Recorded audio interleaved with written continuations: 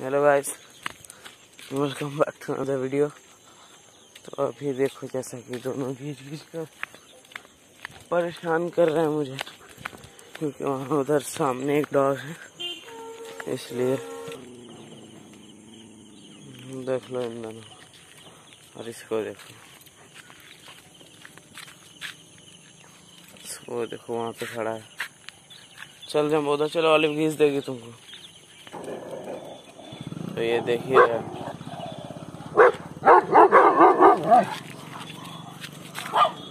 भाई दोनों इतना दम लगा रहे हैं ना। और देखो, हमारा पिटबुल लड़ रहा है तो वैसे बहुत ही मुश्किल के बाद वो डॉग गया है अभी। जा ही नहीं रहा था, दोनों भूखे पड़े थे, जा ही नहीं रहा। तो आप लोग को एक और चीज़ दिखानी थी। जैसा कि मैंने आप लोग को पिछली वाली वीडियो में दिखाया था ना, कि जम्बो अपने इधर में चोट लगा लिया था। ये देखो, दिख रहा रुको मैं आपको अच्छे से दिखाऊँगा अभी। उसको उसने और बड़ा कर लिया और एक जगह और कर लिया है। मैं आप लोग को दिखाता हूँ, रुको रुको। ये देखो भाई, ये था पहले। फिर जब हमने बस नहला के उस वाले शैम्पू से छोड़ दिया तो इसने एक और कलर दिया वहाँ पे। तब हमने सोचा, नहीं, ऐसे ही छोड़ने से नहीं होगा। इसको दवा लगानी पड़ेगी। तो हमने कल लगाया था दवा, और अभी फिर लगाएँगे। मैं आप लोग को दिखाऊँगा अभी आगे। चलो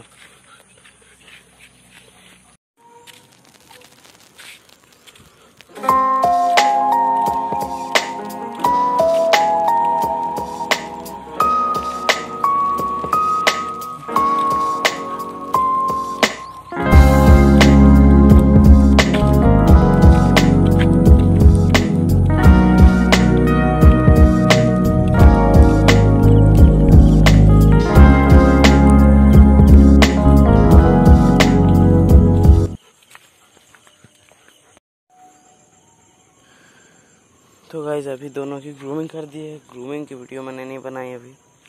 ये देखो, बस इतना ही निकला है दोनों में से। तो अब लगाएँगे जम्बो को दवा। ये वाली आप लोग बहुत जानते होगे। जन जानते हो डी मैग ऐसे सब चोटों के लिए काम आता है। देखो, कल लगाया था हमने, अभी इसके ऊपर से एक परत जमने लगी। ठीक हो जाएगा। तो ये देखो गाइज़ हमने अप्लाई कर दिया इस पर और ये दो तीन दिन में ठीक हो जाएगा, उस पर हेयर्स भी आ जाएँगे। ऐसे जम्बो ठीक नहीं लग रहा था ना। और हम ऑलिव के लिए भी लाए हैं विटामिन लाए हैं कैल्शियम्स लाए हैं, वो मैं आपको नेक्स्ट वीडियो में दिखा दूँगा। इसमें मैंने एक चीज़ दिखाई, ये जो मैंने यूज़ किया जम्बो के चोट पर। इसको आप लोग भी यूज़ कर सकते हो। जब हमारे स्ट्रीट डॉग्स को ऐसा ही चोट लगा था ना तो बचा हुआ था मैंने उसको यूज़ कर दिया बस दो दिन में उसका सब कुछ ठीक हो गया था। और जम्बो का भी ठीक हो जाना चाहिए।